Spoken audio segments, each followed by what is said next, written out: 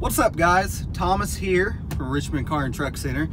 Right now driving the 2015 Ford Explorer XLT.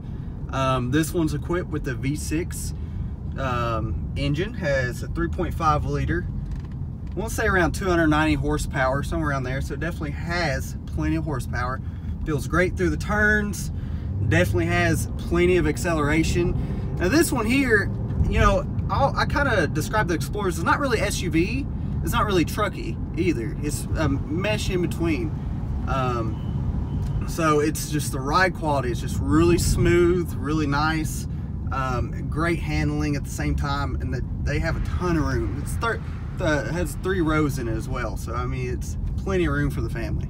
One thing I love about the uh, XLT trim package on this one is the large display with the backup camera. Uh, it makes it really easy to see if there's anything back there. It's a really wide angle as well. I'm going to put it in park.